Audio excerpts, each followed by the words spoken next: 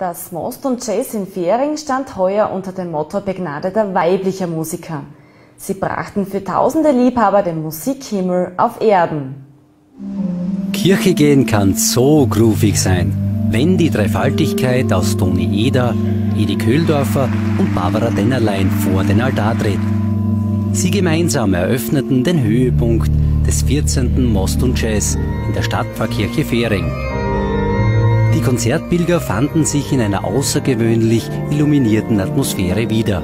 Barbara Dennerlein zog als begnadeter Jazzimport an der Rieger Pfeifenorgel alle Register aus Jazz, Funk und Blues und der Gitarrist Eddie Köhldorfer verpasste dem sakralen Klang ein bemerkenswert grooviges Wesen.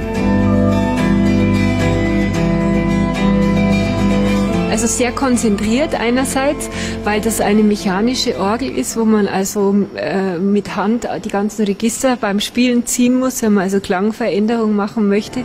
Und da muss man dann sehr viel denken.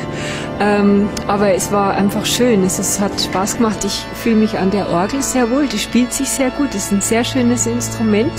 Und ich glaube, der Klang war sehr gut in der Kirche. Und dann das Zusammenspiel mit Edi Köhldorfer, das hat natürlich auch sehr viel Spaß gemacht.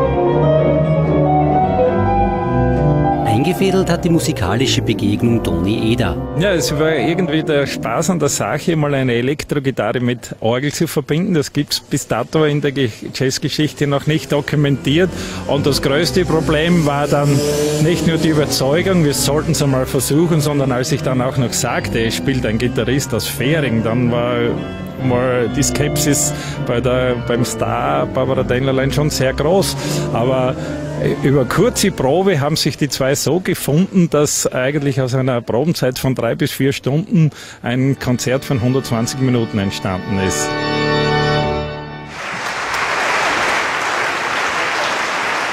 Nach der Kirche ging es ab in den Fähringer Stadtkeller zur DJ-Line.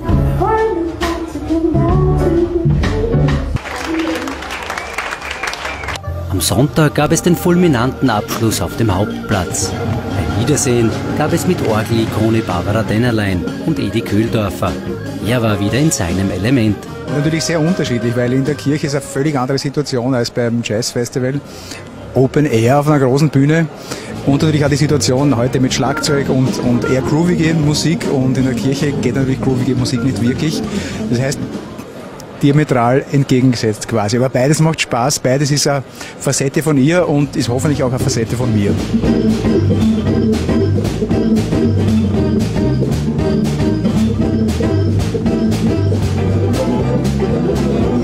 Auch Hans Brassel setzte als Fähringer Musikergröße mit dem Jazzsaxophon ein. Most und Jazz hatte auch heuer wieder für ihn den richtigen Drive.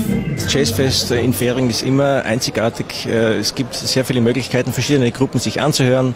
Ich war auch schon im Dixieland-Bereich tätig, also wir haben am Donnerstag gespielt, wir haben am Freitag gespielt, wir haben gestern gespielt und heute war für mich natürlich der Höhepunkt, mit der Barbara auf dieser Bühne zu stehen. Natürlich auch mit dem Eddie Köldorfer.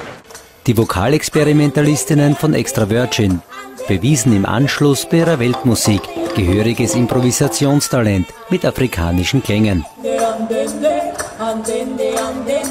Die stimmgewaltige Dreieinigkeit der Rounder Girls machte den zwingenden Abschluss des 14. Most und Jazz.